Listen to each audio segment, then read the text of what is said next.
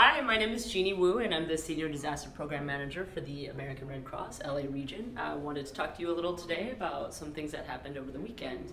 Around 2 a.m. Uh, Saturday morning, I got a call because I was the on duty officer for Disaster Action Team responses, and we were called out to a home fire which involved 15 residents, including about six, seven minor children. They were in a house fire. It was a pretty dramatic escape. You can see the video on ABC 7 and the individuals were really displaced and were not supposed to be going back to their homes. So myself and another volunteer went out and provided disaster action team assistance, which involves some financials for lodging and some food and some stuff that the clients could use to replace the gifts that the little girl lost.